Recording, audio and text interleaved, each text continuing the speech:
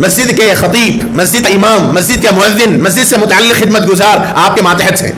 आपकी रैयत में हैं। उनके जिम्मेदार हैं आप लोग। उनके मुतालिक एक एक चीज़ की खबर रखना आपकी ज़िम्मेदारी है।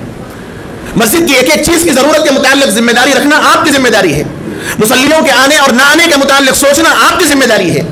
कौन अफराद मस्जिद को आते हैं और कौन नहीं आते हैं, और जो नहीं आते, उनके मुतालिक फ़िक्र करने की ज़िम्मेदारी आप लोगों की है। बहुत माफ़ी के साथ अर्ज़ करता हूँ कि आमतौर पर हमारी मस्जिदों में पखाने की सफ़ाई करने वाला मुद्दिन होता है। क्या जवाब देंगे अल्लाह के पास, जो आदमी आपको नमाज़ के लिए बुला रहा है, आप उससे पखाने साफ़ कराते हैं।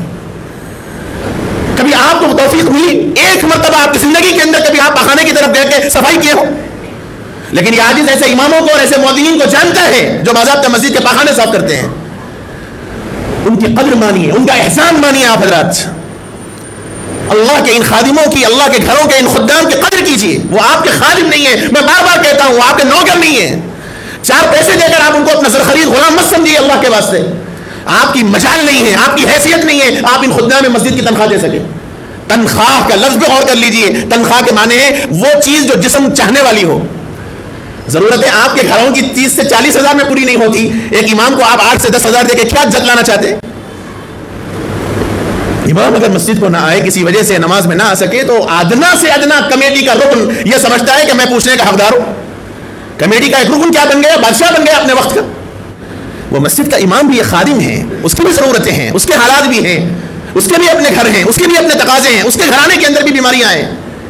कभी आपने सोचा है कि आठ से दस हज़ार आप एक इमाम को और एक मुद्दिन को देकर आप इतना चाहते हैं कि एक वक्त की भी गैर हाजिरी उसकी ना हो? और आप किसी जगह जॉब करते हैं तो आपको महीने के दो छुट्टियाँ चाहिए। कभी आपने इमाम को दी छुट्टी? क्या घर के तकाजे उसके पास नहीं है? दुनिया का शायद ये वाहिद मुलाजिम होगा।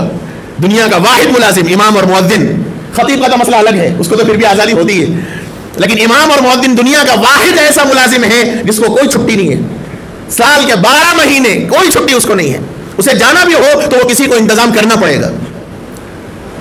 तो बाद में मैंने उनसे पूछा कि आप झाड़ू क्यों दे रहे थे? एक मरतबा तो दिए। तो कहा कि सदर साहब का हुक्म है, हर दो नमाज़ के दरमियान मस्जिद की सफ़ाओं को झाड़ू देनी चाहिए। कम से कम तीन सफ़े तो ज़रूर। ठीक है?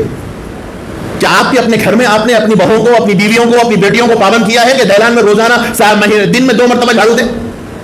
जब आप जिस घर में रहते हैं, आपको अपनी बीवी बच्चों से बोलने की हिम्मत नहीं है तो एक खादिम को बोलने की हिम्मत कहाँ से आ गई? तनख्वाह दे रहे हैं साहब। पैसे दे रहे हैं साहब। मुलाजिम है साहब उन्होंने हमारे। हाकिमाना लहजा मस्जिद के जिम्मेदार लोग।